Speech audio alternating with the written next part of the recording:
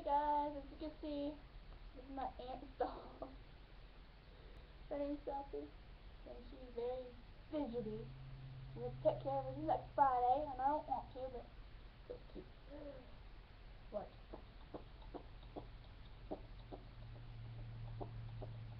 Okay. Um, I'm going to be singing a Little Wings. Why are you standing on my bladder? Um, Alright, so here it is. I tell her to speak up, tell her to shout up, talk a bit louder, be a bit prouder, tell her she's beautiful, wonderful, everything she doesn't see.